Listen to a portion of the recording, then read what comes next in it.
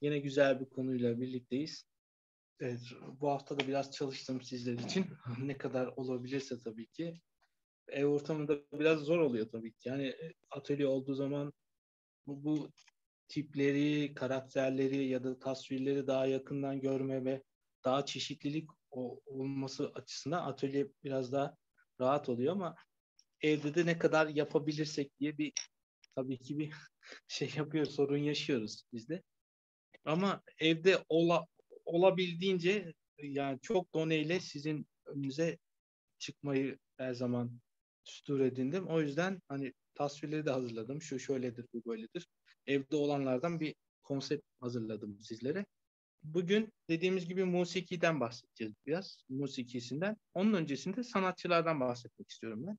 Karagöz'de sanatçılarda. Tabii ki Karagöz hayali ve hayalbazlardan oluştuğunu daha önceden söylemiştik.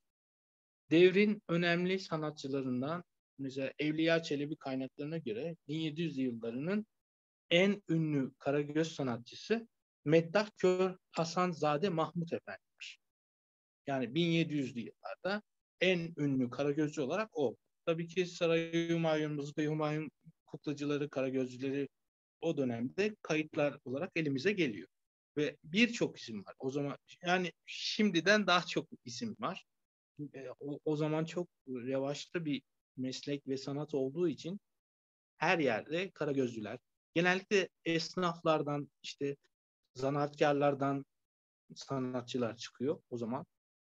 Tabii ki yani sarraflardan, işte camcılardan, kırtasiyeci, her şey, her meslekten karagözcüler olabiliyor. Sırf karagöz işi yapmıyorlar. Yani sırf karagöz işi yapanlar tabii ki mızıkayı humayunda çalışanlar oluyor.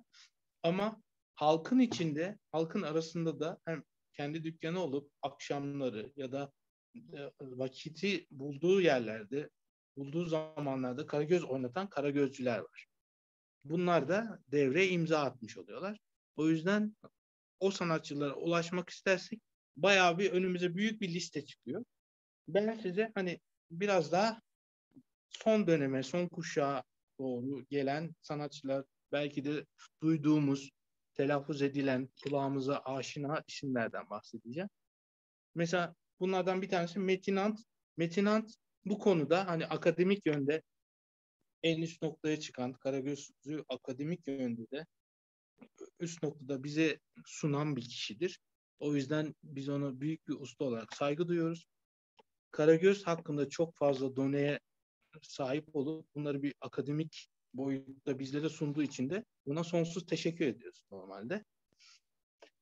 Böyle hem e, tabii ki o, o zamanlar fazla e, böyle sanatçıların hani okullu olmasını fazla bekleyemediğimiz için hani alaylı yönden bu, bu sanat genellikle alaylı yönden geliştiği için usta çıraklıkla bunda da e, şöyle bir durum bize gösteriliyor.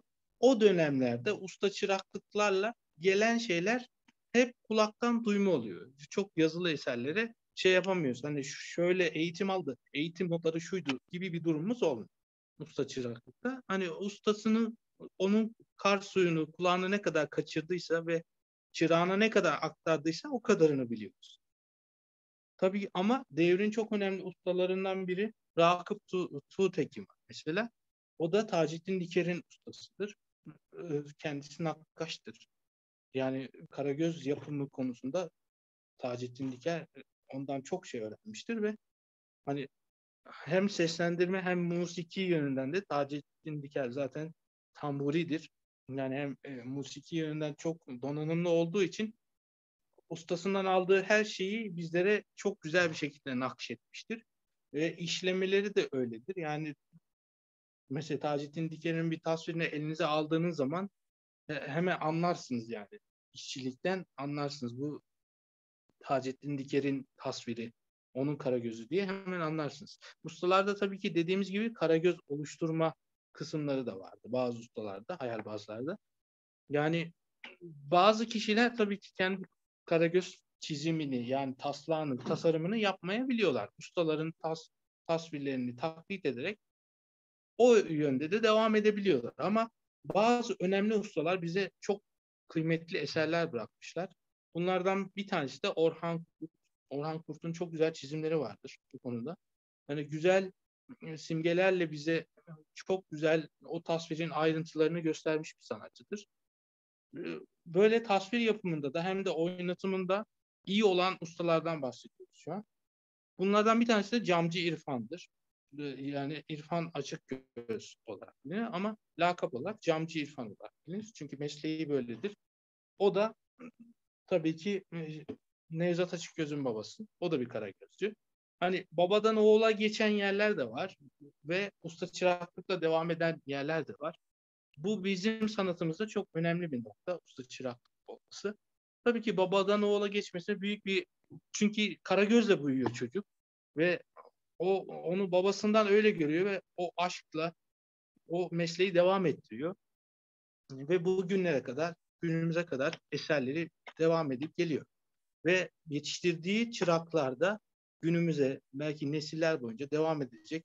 Bu benim ustamdan kalan bir düsturdur olarak onun bir öğüdü kulağımıza kadar gelecek. Bu çok önemli bir şey aslında. Tabii Orhan Metin Özlen mesela Unime'ye çok büyük katkı yapmıştı. Unime'nin 6 serilik bir şeyi vardır. Kari Kadim oyunların çekimlerini yapmıştır. Ve Unima bunları bir CD haline getirip bastı ve günümüze kadar taşımasını sağladı ve orada da hem Kari Kadim oyunları nasıl oynatılıyormuş hani görüntülü bir şey arşiv nasıl oynatılıyormuş onları da görmüş olabiliyoruz yani. O yüzden Metin Özden'i geç şey, es geçemeyiz bu konuda. Hayali Yusuf Efendi. Saray Sarayı Humayun Karagözcüsü, baş Karagözcüsü olan Hayali Yusuf Efendi e, Pişeker Küçük İsmail'in ustasıdır. Ya daha önceden anlatmıştım tekrar edeyim. Bir şeker küçük İsmail e, kız vermiyorlar diye Sarayı Humayun'a gidip Karagözcü oluyor. Yani orta oyuncuya kız vermiyorlar diye. Çünkü Karagöz daha köklü bir şey o zaman. Hani sükse yapan bir sanat. O yüzden Karagözcü'ye kız veriyorlar. O yüzden Karagözcü olmaya planlıyor. Ve şey Hayali Yusuf Efendi'nin yanına giriyor. Ve orada Karagöz'ü öğreniyor ve bir hayali oluyor bir. Yani Pişeker Küçük İsmail bir hayalidir. Hem orta oyunda bir karakter hem de e, Karagöz'de çok önemli ustalardan bir tanesidir. İhsan Dizdar tabii ki hani güzel eserler bırakmıştı bize. Hani nevi icat dediğimiz oyunlardan bazıları da büyük eserler bırakarak günümüze kadar Karagöz'ün tanıtılmasında büyük emekleri olan insanlar bunlar. O yüzden bunlara çok teşekkür etmemiz gerekiyor bu sanatı bize kadar getirdiler. Biz hani ne kadar nacizane bayrağı ne kadar taşıyabilirsek ileriye, yeni nesillere ne kadar aktarabilirsek yani bize bir sorumluluk yüklediler. Onlar şu ana kadar öldürmeden bu sanatı bu zamana kadar getirdiler. Bundan sonraki nesillere de bizi bıraktılar. Biz de bu bayrağı ne kadar taşıyabilirsek, hakkını vererek ne kadar taşıyabilirsek ömrümüz yettiğince taşımaya çalışacağız. Ünver Oral hem kuklacıdır hem karagözcüdür. Bu konuda e, iyi ustalardan bir tanesidir. Tabii ki o da eserler bıraktı bize. Yani güzel kendi yazdığı oyunları da var. Ve yaptıkları tasvirleri bir yerlere bağışladılar. Genellikle karagözcüler böyle yapıyor. Hani yaşlandıkları zaman bir yerlere bağışlıyorlar ve bu müzelerde sergileniyor. Bursa Karagöz Müzesi gibi müzelerde sergileniyor bu karagözler kendi çizimleri, oyunlara kattıkları tipler. Tabii ki her karagözcünün tip katabilir. Böyle bir lüksü var. Yeni bir tip oluşturup karagözün içine koyabiliyoruz. O o tip bizimle var oluyor. Bu biliniyor artık şu kişi şu ustadan kalma bir tiptir deyip diğer ustalar da onu taklit edebiliyor. Bu da o ustalar için büyük bir aslında gurur. Onun çıkardığı bir tasviri, bir tipi Karagöz'de başka bir ustadan seyretmesi gibi. Tabii o konuda Ünver Oğlan'ın da yaptığı e, böyle şeyler var. Mustafa Mutlu e, güzel bir hocamızdır. Hani biz de eğitim aldık ondan yıllar yıllar önce. Hani musikiyi çok sever. Musiki derslerinde mesela önem gösterirdi ona. Çünkü Karagöz müzik demektir derdi. Ve e, o konuda da o da bizim üstümüzde emeği vardır yani. Allah razı olsun. Teşekkür ediyoruz ona da. Ustaların hani e, yaptıklarını bilmek aslında bize çok büyük bir şey fark ettiriyor. Diyorsunuz ki onlar ne yokluklarla neler yapmışlar. Ama biz şu an varlık içindeyiz. Her şey var. Elimizde internet var, şey var. İşte arşivler var, kitaplar var, tezler var, üstüne yazılmış. Hani onlar bir kalıbı ustasından gördüğü zaman onun kalıbını çıkarmak için kağıtla gidip onun üstünden karalamayla bir şeyini alma. Biz fotoğrafını çekebiliyoruz yani şu an. Fotoğrafını çekip hemen çıktıdan çıkartabiliyoruz. Ama o zamanlar öyle bir imkanlar yok.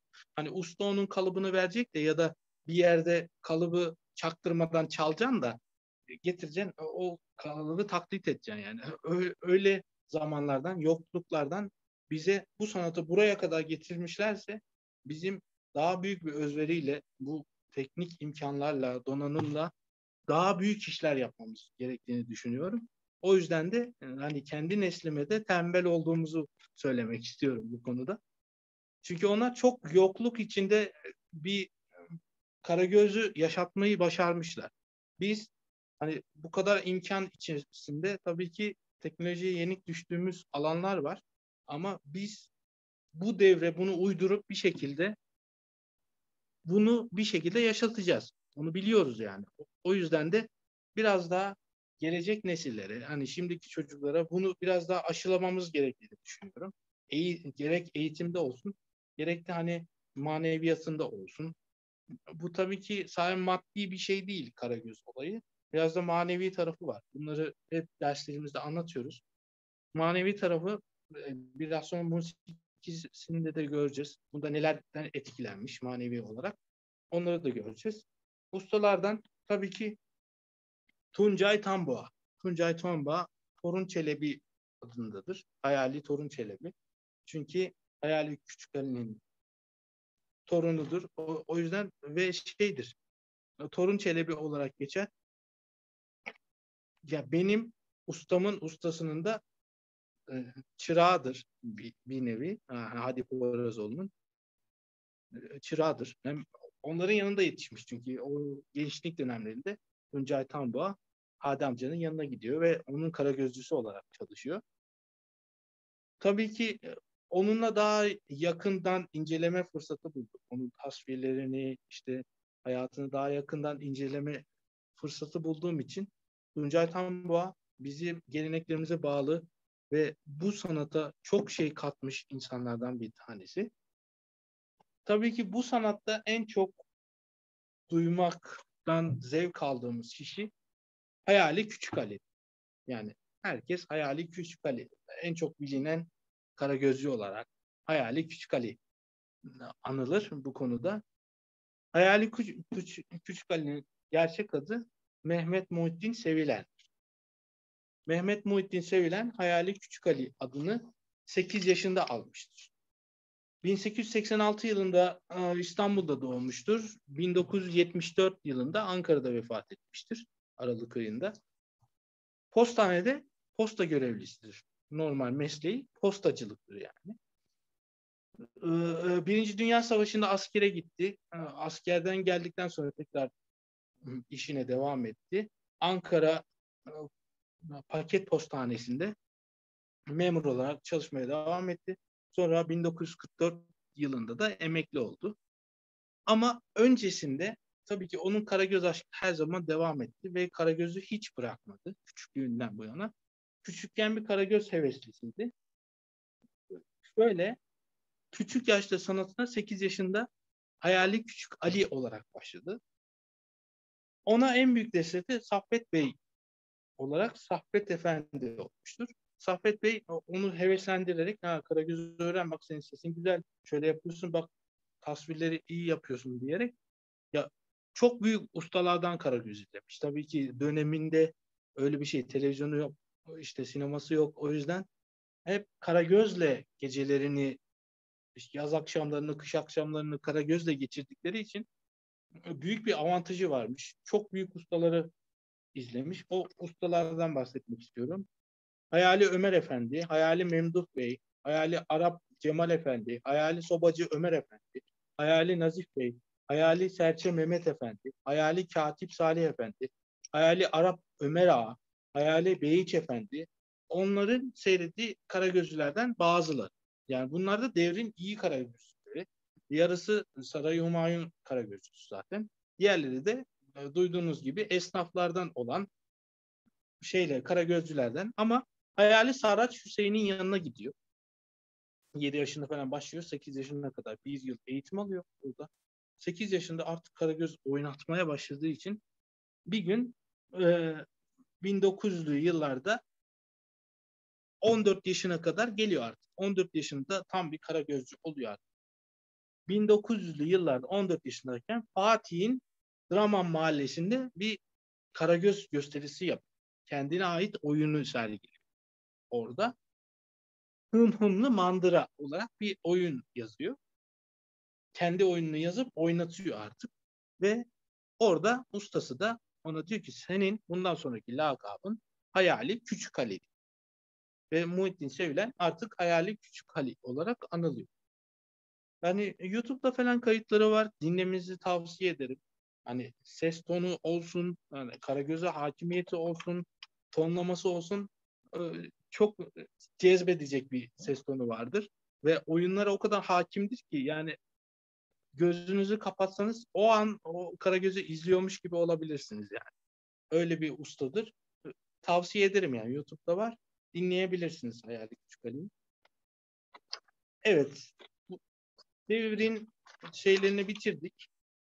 Hani kısaca geçtik.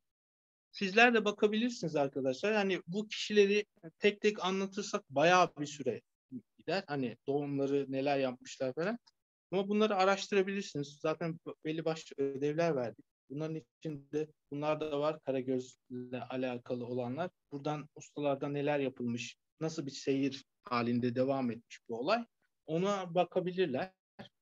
Şimdi Karagöz'ün tiplerine geçeceğiz artık. Tipler. Eksen tipler dediğimiz bir şey var. Eksen tipler yani ana karakterler. Bunlar daha önce de bildiğimiz, her zaman gördüğümüz Hacivat ve Karagöz. Bunlar eksen tiplerdir. Yani olayın bunların üzerinde döndüğü tiplerdir. Genellikle Karagöz ya da Hacivat. Yani bunlar ana karakterler olduğu için bunlar eksen tiplerdir. Ve bunun yanında gelen tipoloji olarak bir sürü tipler var. Çünkü Karagöz bir mozaiktir. Türkiye'nin, Anadolu'nun ya da dünyanın her yerinden e, karakterleri içine alabilecek bir hayal perdesi var. O yüzden bir Karagöz mozaiktir diyoruz. Bu mozaiği tamamlamak için bazı hani belli başlı kaidelerdeki tipleri göreceğiz şimdi. İstanbul ağzı tipler. Bunlar mesela zenneler. Zenne şuradan göstereyim. Bu bir zenne. Hani orta oyunda demiştik ya zenne hani kadın kılığına giren erkeklerden oluşuyor. Orta oyunda o zamanlar yasak olduğu için kadın kılığına erkekler giriyor. Onlara da zannediyor. Ama Karagöz'de bu kadın tiplere verilen genel bir isim zenneler. O yüzden zennenin birkaç çeşidi olduğu için de zenneler denir. Ama Çelebi tektir mesela. Çelebi'nin kıyafette değişik olanları vardır ama Çelebi'nin tek bir formu vardır. Sadece bunu kıyafetle çeşitlendirebilirsiniz. Ama zennenin işte e, bacı kalfa zennesi vardır. işte Arap bacı zennesi vardır. O yüzden onların hepsi zennedir. Ondan sonra İstanbul Ağızlılar, Çelebi, Zenne, Beberuhi ve Tiryaki. Ama Beberuhi ve Tiryaki diğer alanlara da girdiği için hani gene İstanbul şivesiyle konuşurlar ama diğer alanları biri hani engelliler alanına ya da çocuklar alanına girer. Diğeri de sarhoşlar grubuna girebilir. Anadolu'lu tipler var. Anadolu tipler mesela Bolulu, Kastamonulu, Kayserili, Karadenizli, Konyalı, Kürt, Laz bu, bu tipler Anadolu Anadolu coğrafyasında yaşamış tiplerden bahsediyor aslında. Karagöz'de her şiveden, her ağızdan kişileri Karagöz perdesine koyup onların hikayesini Karagöz'le şenlendirebiliyoruz. Bu tiplerin de genel ismi Anadolu tipler olarak geçiyor. Bir de Anadolu dışından gelen tipler var. Bunlar Arap, Akarap, Kara Arap, Acem, Arnavut, Rumeli, Tatar, Çingene, Yahudi, Frenk, Rum, Ermeni gibi Anadolu dışında ama bu mozaiğin içinde olan Yani bu topraklarda yetişmiş ya da bu toprakları paylaştığımız kişilerden Karagöz perdesinde gördüğümüz tiplerdir. Engelli tipler deli, denyo gibi tiplerimiz var Karagöz'de. Bunlar hani şey Karagöz'e genellikle bela olmak için ya da oraları renklendirmek için her mahallenin bir delisi vardır ya. O yüzden tabii ki bu değeri de Karagözcüler bir şekilde bu sahneye taşımışlar. Bunu da Deli Denyo olarak bir karakter yapmışlar. Bu karakter Karagöz'e bulaşır. Karagöz onu bir şekilde yollamaya çalışır. Bu da perdeye renkli bir görüntü çıkarır. Bunlara genellikle şapkaları kulaklarının içinden çıkar. Ee, yani şapkaları büyüktür ve yırtıktır. Kulakları dışarıya doğru yapılır. Öyle çizim teknikleri vardır. Ama dediğim gibi bir mozaiğin içinde her mahallenin bir delisi olduğu gibi Karagöz perdesinde bir delisi deniyorsa olması gerekiyordu. O yüzden de ustalar bunu bir ihtiyaç olarak görüp Karagöz perdesine böyle bir şey de koymuşlar. Kabadayı ve sarhoşlar. Tuzsuz Deli Bekir, Matiz, Külhan Bey, Zeybek ve Efeler. Şimdi biz genellikle Tuzsuz Deli Bekir'i duyarız. Ama Matiz ve Külhan Bey'i Tuzsuz Deli Bekir'le çok benzerlik gösterir normalde. Ama farklı karakterlerdir. Şimdi ben size Tuzsuz Deli Bekir'in hikayesini anlatmak istiyorum. Tuzsuz Deli Bekir aslında şeyden atılmış, tulumbacılardan atılmış bir tiptir. Ahmet adında biri. Tulumbacılarda atıldıktan sonra kendi içkiye vuruyor. Bir meyhane kapatıyor. O zaman da Mustafa Bekri olarak bir be- bekçi Bekir var. Bekri adı.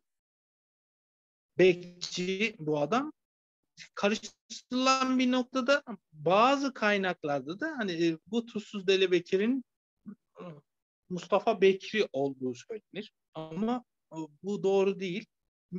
Ahmet sonra Mustafa Bekri bunu tekrar alıyor meyhaneden. Ceza kesmiyor. O zaman tabii ki falaka cezası ya da hapis cezası var. Ceza kesmeyerek bunu tekrar bir camiye götürüyor. Orada abdest aldırıyor. İşte namaza başlatıyor. Onu yol yordam gösteriyor yani. Ve müezzin Ahmet olarak Sultan Ahmet'e müezzin oluyor. Tuzsuz Delibekir. Dönemin kabadayılarından o da hani zaten tulumbacıları genellikle öyle tiplerden seçiyorlar. Güçlü, kuvvetli, işte tuttuğunu koparan tiplerden. Çünkü o yangın arabasını taşıyabilecek, hani narasıyla üç mahalleyi inletebilecek kişileri seçtikleri için tulumbacılardan bir tanesidir. Külhan Beyleri de zaten Külhan Beyleri de oradan geliyor. Sonra bunun ayrımını şöyle yapıyoruz. Külhan Beylerinde bir de devrin kaba dayısı gibi değil de o dönemin mafyası gibi düşünün. Bir de böyle tipler var. Külhan Beylerin içine Karagöz'de bunu da sokmuşlar. O dönemde hani böyle haraç kesen, hani kabadayılığa yakışmayacak şekilde böyle davranan kişilere de varmış. Onlara da Külhan Bey'i demişler. Ama tabii ki Külhan Beyleri de biri hani tamamen adalet için mahallede duran var. Bir de böyle tipler var. Onları da biz Karagöz perdesinde görüyoruz. Matiz de bunun devamlı sarhoş olan. Yani biz Tuzsuz Deli Bekir'i üçe bölmüşüz gibi düşünün. Üç farklı karakteri biz perdede ayrı ayrı görebiliriz. Bunları karşılaştırabiliyor yani Karagöz perdesi. Öyle bir zenginlik sunmuş bize. Hani türevleri. Tuzsuz Deli Bekir'in türevleri. Ama farklı karakterler olarak günümüze kadar gelmiş. Efeler ve Zeybekler. Tabii bunlar Karagöz'e musiki önemli dedik ya. Bunların hepsini Efe ve Zeybeklerde geldiği zaman kahramanlık hikayelerinde Karagöz'e yardımcı oluyorlar. Genellikle. Mesela o yörelere gittiği zaman Karagöz'ün öyle bir şey olmadığı için hadi bakalım oraya gittim. Efe'den yardım istedim ya da Zeybeklerden yardım istediğim gibi bir durum olabiliyor. Efeler, Zeybekler de tabii ki o güçlü şeyleriyle o olay çözme yetenekleriyle Karagöz'e yardımcı oluyorlar. Eh, eğlendiriciler. Karagöz'de diğer tarzlarda, orta oyun gibi tarzlarda olduğu gibi eğlendiriciler var. Mesela oyunun sonunda çengi çıkar mesela. Çengi e, bir parçada oynar. Hani şeyi kahvehaneyi coşturmak için kullanılan şeylerdir. Bunun yanında zurnacı, davulcu gibi tipler de çıkmıştır. hani bunların da tasvirleri yapılıp arkadaki sazendeleri taklit ederek zurnacılar ve davulcular da sahneye çıkmıştır. Yani Ramazan ayında manici gibi e, perdede de bir manici olabiliyor yani. Böyle tipler. Curcuna bas işte oyunu başlatması ve sonlandırması için böyle tipler de eklenmiştir. Ve daha ilginci kavuklu ve pi şeker Karagöz perdesinde bunları da görebiliyoruz. Eğlendiriciler olarak. Hani bir oyun görelim deyip kavuklu ve pi şekeri orta oyun karakterlerini de sahneye yansıtmışlar. Hani gölge perdesi. Şu aralar öyle bir şey var. Hani Karagöz perdeden çıkmaz ya da orta oyun tipleri perdeye girmez diye. Bunu ustalar zamanında yapmış. O yüzden yapılabiliyormuş diyebiliriz yani. Bir de olağanüstü kişiler var Karagöz'de. Karagöz olağanüstü kişileri mesela Banu ve Cazılar var. Bunlar tabii ki daha önce derslerimizde görmüştük. Yani şamanizmden gelen etkilerle efsanede olan tipleri hani o cadıları falan biz Karagöz perdesinde görebiliyoruz. Banu ve cazı, cazı cadılar bunlar bizim eksen tiplerimizin karşılığı olarak onlara kötülük yapan şeyler olarak görünüyor bizim. Karakterler olarak görünüyor, karşımıza çıkıyor. Şahmeran mesela oyunlarda tabii ki destansı oyunlarda var ya Leyla Mecnun'daki gibi işte Ferhat ile gibi hani destansı oyunlarda kullanılan bazı tipler de var. Üç başlı ejderha, üç başlı yılan, şahmeranlar, yılanlar, işte cadılar, bu cazular yani o karakterlerden, o kültürlerden bizim karakterlerimize yani perdemize yansımış tipler aslında. Bunlar da olağanüstü kişileri de bitirdik. Karagöz musikisine geldik. Musiki konusunda Ethem Nuri Güngör'ün Karagöz Musikisi diye bir kitabı var arkadaşlar. Bunda Karagöz müziklerinin işte notalarıyla birlikte e, derlenmiş bir yapıda bir kitabı var. Bunu tavsiye ederim. Tabii okudum ben. Hani sadece Karagöz musikisiyle alakalı değil, birçok hani orta oyunlarda kullanılan parçalar da var içinde. Tabii ki bir Karagözlü buna baktığı zaman ayırt edebiliyor. Şu Karagözlü kullanılıyor, bu işte orta oyun tipi gibi. Ama güzel bir kaynaktır. Bunu tavsiye edebilirim. Karagöz makamları. Şimdi Karagöz'de musikiyle hani bağlantısı var demiştik ya. Hani Kari Kadim oyunlarda bazı Kari Kadim oyunlarda şey yapıyorlar ustalar. Bazı makamlar seçiyorlar ve bunları kullanıyor. Bunlar Sabah, Raz, Hicaz, Segah, Uşak ve Hüseyin'i. Bu altı makamın çok önemli bir özelliği var. Bunlar beş ezan ve bir sela makam. Hani sabah makamı, sabah ezanı. Ras makamı, öğle ezanı. Hicaz makamı, ikindi. Segah, akşam, uşak, yası ve Hüseyini makamı da sela makamıdır. Bunlar Kari Kadim oyunlarında hani bunlarda esinlenerek bunların parçalarını söylemeye çalışmışlar ve musikiyi de biraz tas- tasavvufi yönüyle de Karagöz'de yaşatmaya başlamışlar.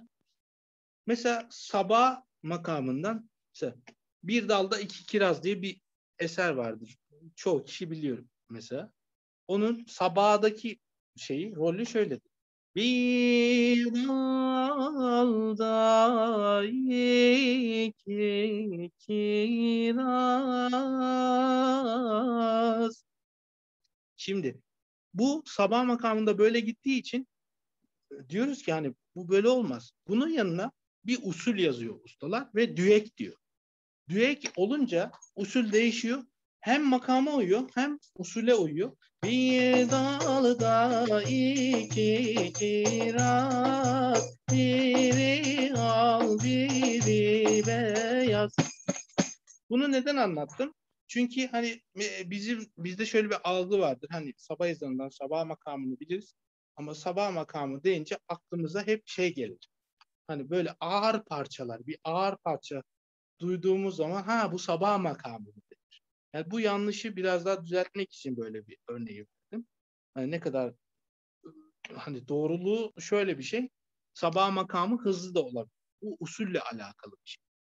Onu anlatmak için bu da anlattım. Mesela rast bir makam yine bir gün nihal aldı bu. Bu mesela bizim çelebelerde, İstanbullu tiplerde, İstanbul şiveli tiplerde, İstanbul ağızlı tiplerimizde kullandığımız parçalardan bir tanesidir.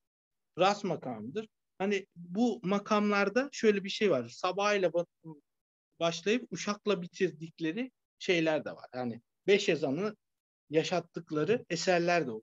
Karagöz oyunları da oluyor. Sabah makamıyla başlıyor. Hani sabah namazıyla başlıyor. Yatsı namazıyla bitiyor gibi bir hani tasavvufi bir yapıda oyunlar da var. Mesela oyunlarda oynatılabiliyor. Şimdi tiplere geldik arkadaşlar. Hem tipleri hani nasıl konuşuyorlarmış hem de şarkıları nelermiş onlarla başlayacağız.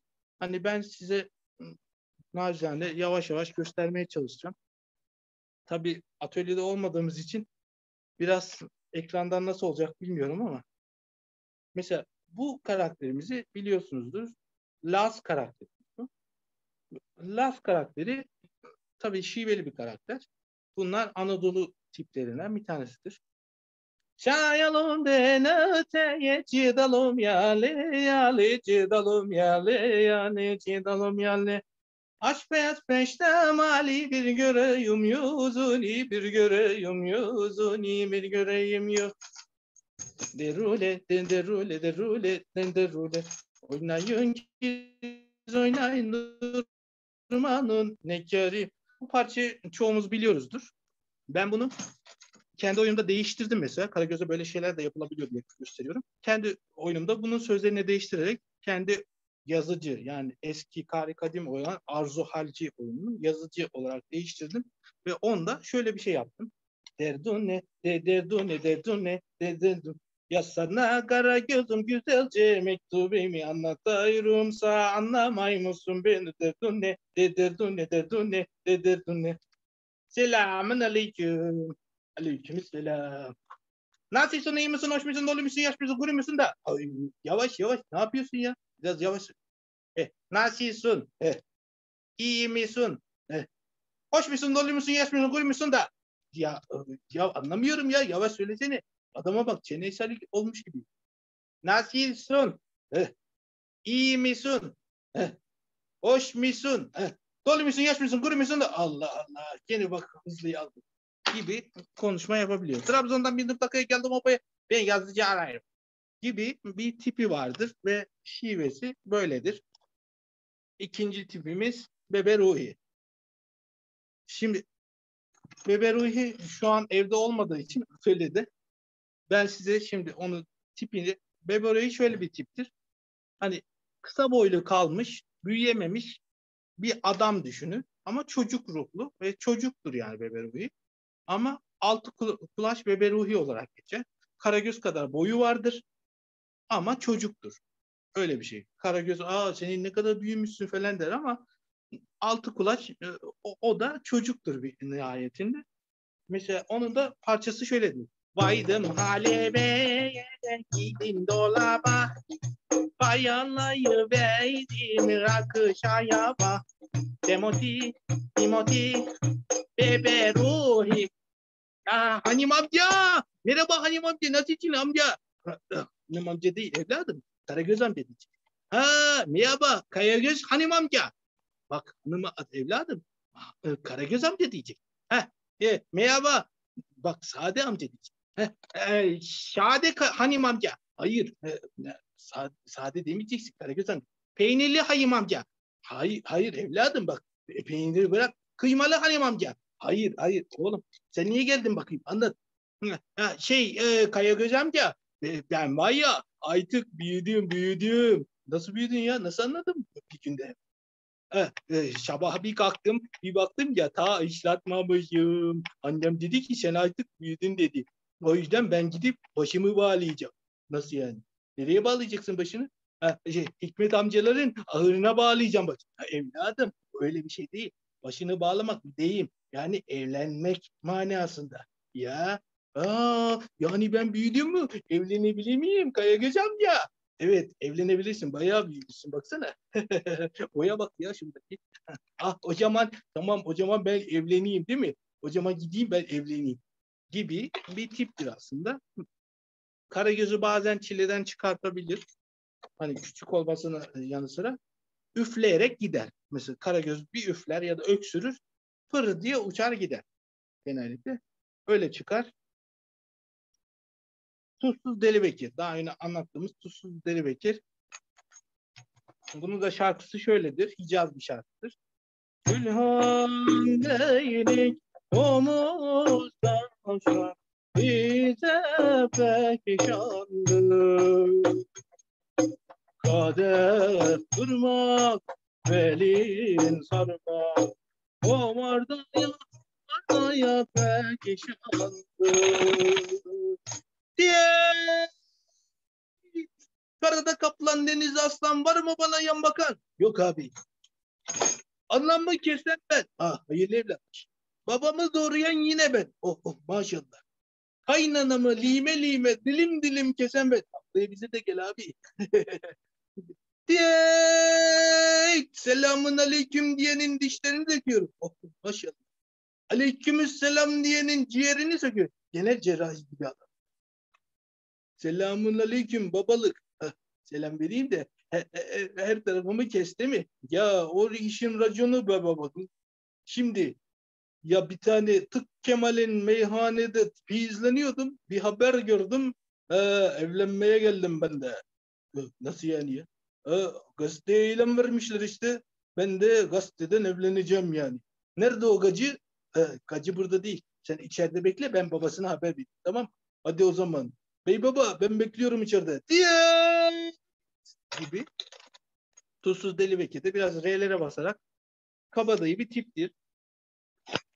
Evet, Kastamonulu yani Anadolu tiplerimizden bir tanesi daha. Bunun birkaç tane versiyon şarkısı var. Hani istediğinizi kullanabilirsiniz mesela Karagöz oyunlarında.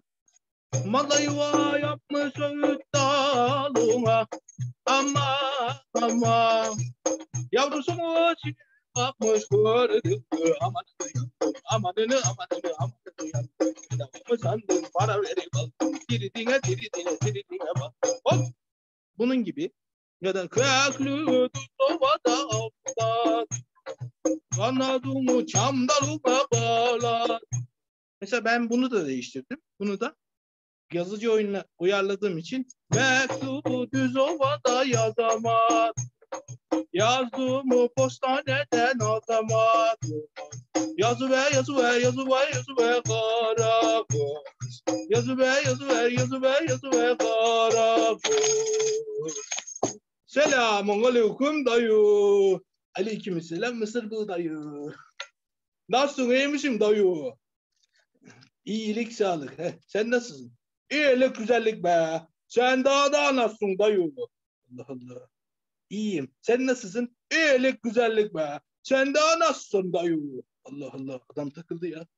Niye geldin? Ha, ben mektup çizdirecektim. Ne? Mektup çizdirecek. Sen çizen mi be? Ba mektup çiz. Ne? Ba mektup çiz diyorum dayı.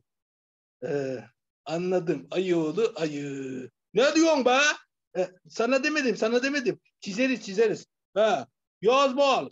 Arafatlı, şerafetli, zarafetli yen. İşlerin iyi midir? Yakında yanıma gelir misin? Dişlerin iyi midir? Yanında yahni yer misin? Yazdın mı? Yazdım, yazdım. Bize de buyurun kalın sağlıcakla. Rize'de uyudum, kalın salıncakta. Yazdın mı? Yazdım, yazdım. Rize güzel miydi bari? Ne Rize'si be dayı?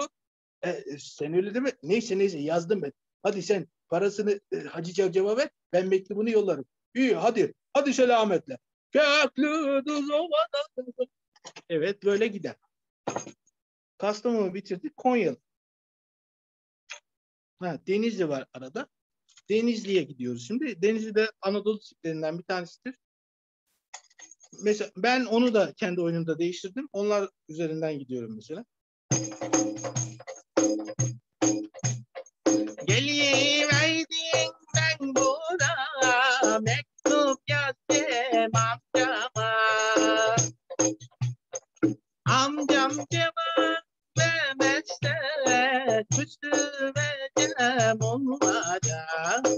Yazı be yazı be kara kızım mi? Mektumu yazı be kara kızım Ye. Yazı be, yazı be, bana güzel mi? Mektubumu yazı be, bana güzel mi? Ah, selamun aleyküm Karagöz'üm mi? Aleyküm selam evladım. Benim bir mektup vardı. Çiziverebilecek mi? Ne? Ben çizemiyorum evladım, ben yazıyorum. Ha, benim de mektubu çiziver diyorum sana, anlamıyor musun sen? Heh, Hacı Cavcav, bu ne diyor ya? Efendim mektubu yazar mısın diyor. Ee, yazarız yazarız tamam söyle. Heh, ben söyleyeyim de sen yaz o Karagöz'üm mi? Selamun aleyküm. Aleyküm selam. Sana demiyorum Karagöz'üm be. E, Kime diyorsun evladım? Senin başka kimse yok. Sen ve ben varız. Heh, ben arkadaşımı deyip durum ya. Ne, ne şey arkadaşım mı var? Nerede? Ya arkadaşım vardın ya. Nerede arkadaşım var? İki kişiyiz evladım. Kimse yok. Ya mektup arkadaşım var ya sen bana mektup yazı vereceksin ya. He, ona mı diyorsun? He, ona diye veriyorum. Heh. Ne yapıp edip dur veriyorsun gari? He? Ne yapıp edip dur veriyorsun gari? Ya Hacı Cavcav ne diyor bu ya? Efendim nasılsa iyi misin diyor. He, tamam. Nasılsın iyi misin? Heh. Kuzular, kutlar, kuşlar, kuşlar nasıl? Bizim hicabi sorarsan çok iyi. Geçen bayırın oradan aşağı doğru kendini fıydırıverdi de berekat bir şey olmadı çilli horozuma. Selamı selamı ekledim kardeş. Tezerden bir cevap beklerim kardeş. Yazı verdim Karagöz'üm mi? yazdım yazdım evladım. Hadi bakalım sen parasını ver. Ee, ben mektubunu yollarım. Hadi bakalım. Hadi kal sağlıcakla bakayım. Geleyim eydim diye çıkar gene. Konyalı. Evet Konyalı tipimiz. Sıradaki tipimiz. Ahey, hayırdı benim on kelimelik mektubum, mektubum.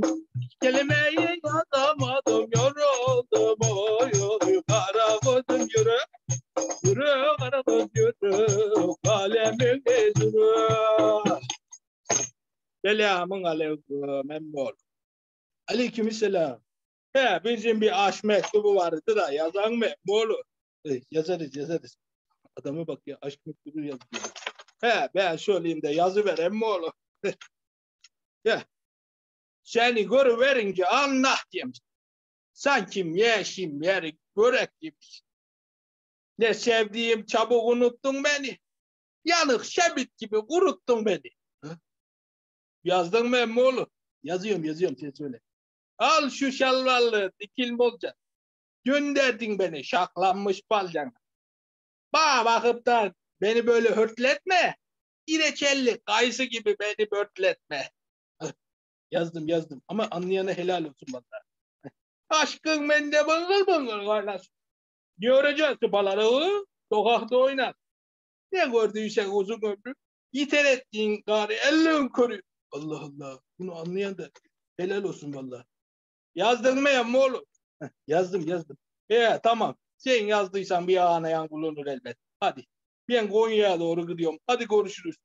Deyip o da çıkar. Tiryaki. On yedi tek kız mastika içtim. Sekiz tane de konyak. Altı yedi ver musbira.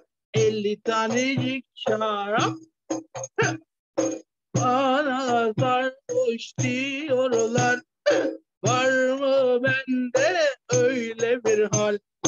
Kavadayım, havadayım, hovardayım, oradayı saymıyorlar. Parasıyla değil mi be kardeşim? Niçin sallar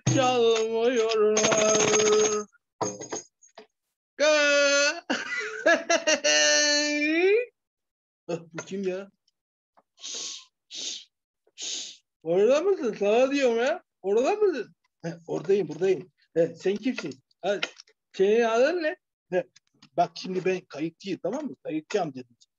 Ha, kazıkçı amca mı? Hayır evladım bak. Kayıkçı amca Kayığım var. Bak ben karşıya yüzüyorum.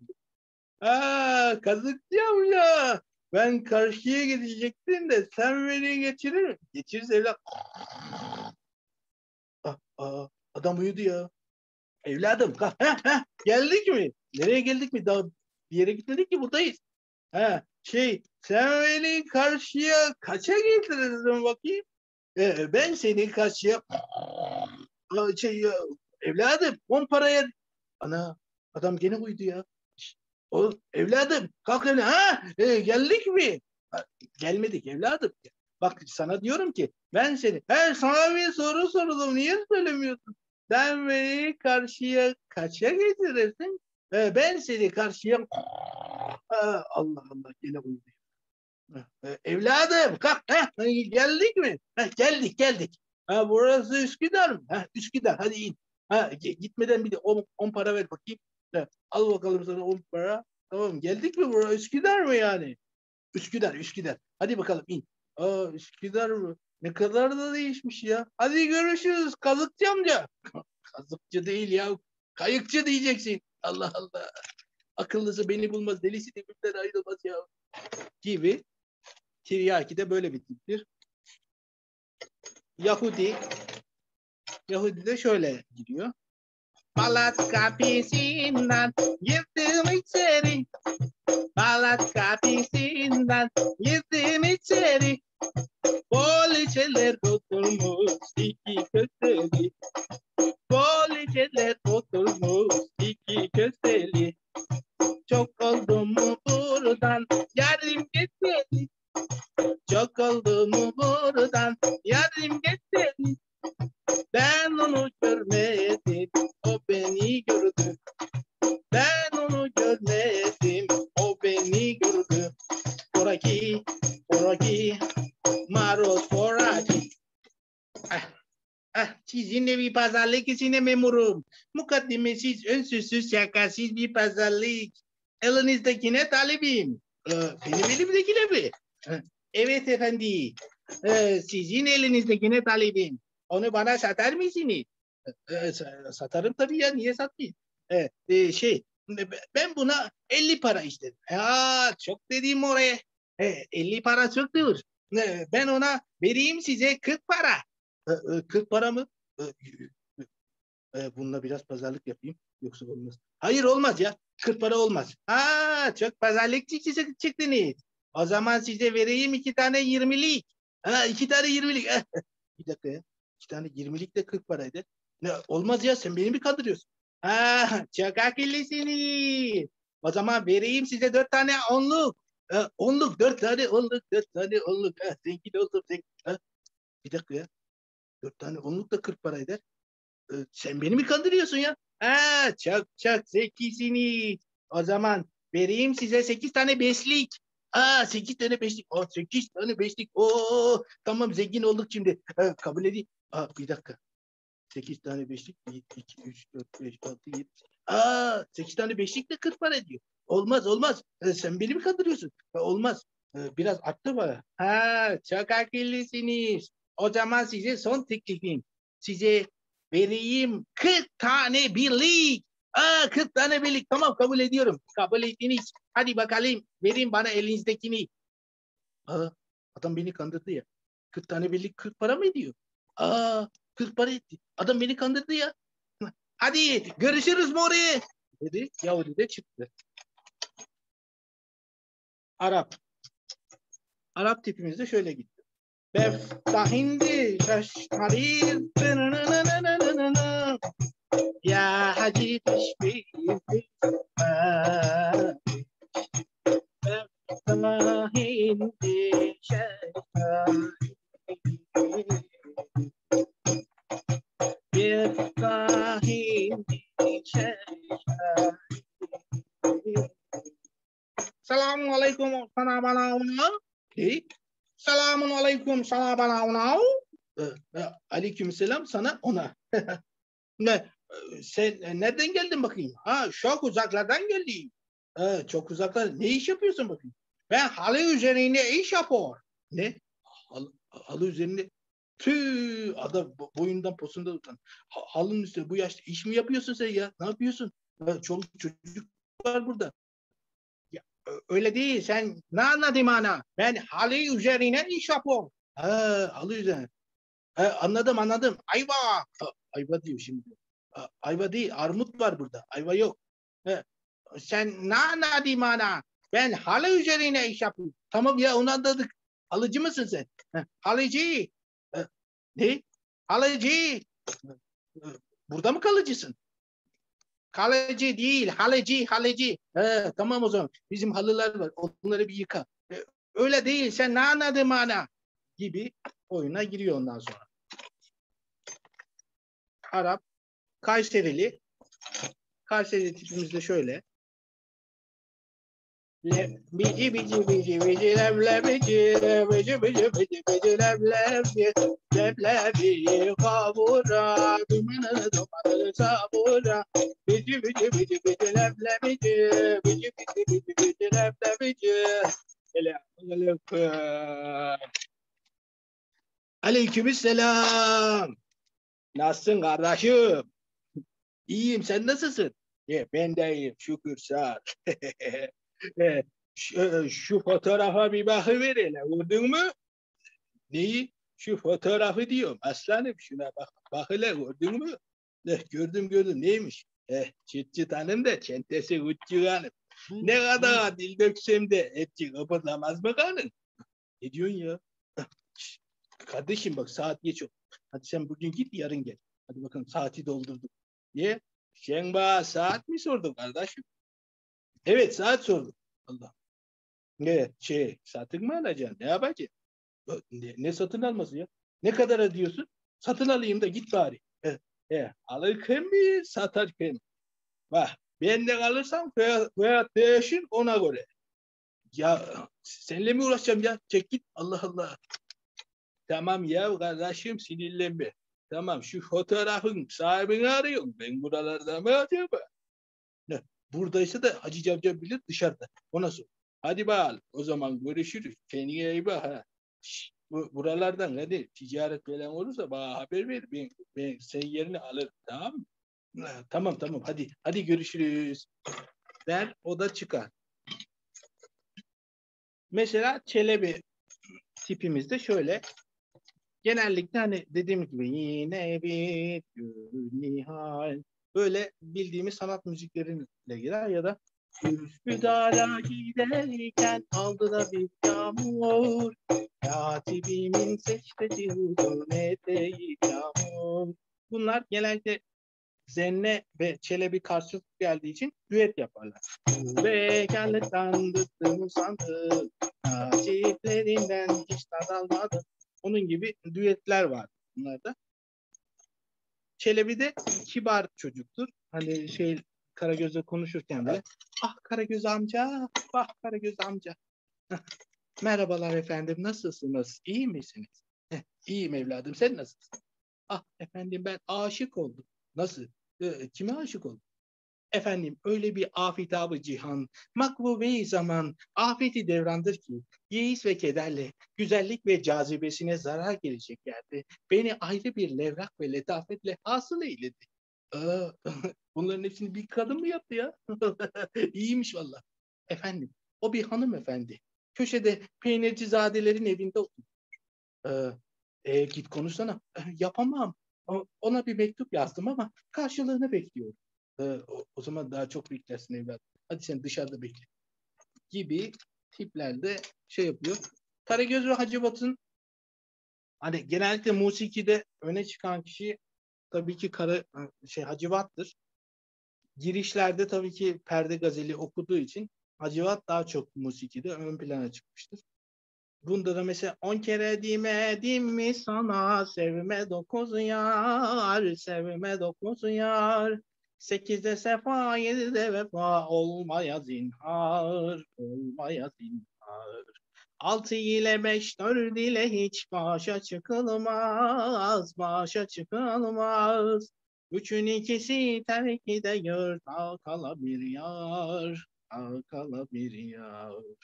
Bu tek başına yaptığı şeylerdir. Ben mesela bunlarda düetle kullanıyorum. Şunun gibi.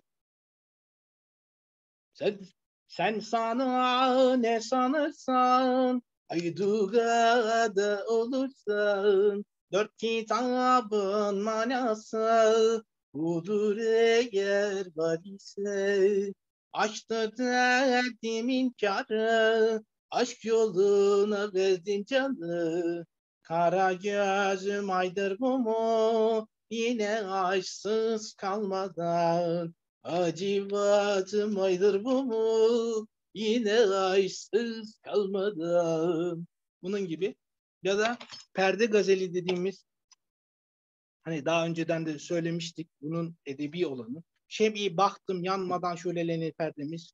Mesela ben de onu kendi oyunlarımda şöyle bir forma çevirdim. Hani daha küçüklere oynatırken bunu fazla anlayamayacakları için bunu musikiyle birleştirdim mesela. Şem'i baktım yanmadan şulelenir perdemiz. Erbabi zarif olana cilvelenir perdemiz. Perdeyi kaldır gözden hisse al sen bu sözden. Perdeyi sanma bezden kemalattır perdemiz.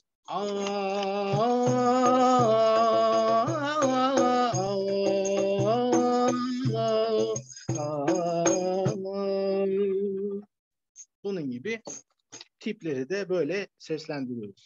Teşekkür ediyorum. Bu, bu ders biraz uzun oldu ama tabii ki daha çok tipler var. Hani elimde olmayınca da hani göstermeyince de bir manası olmuyor.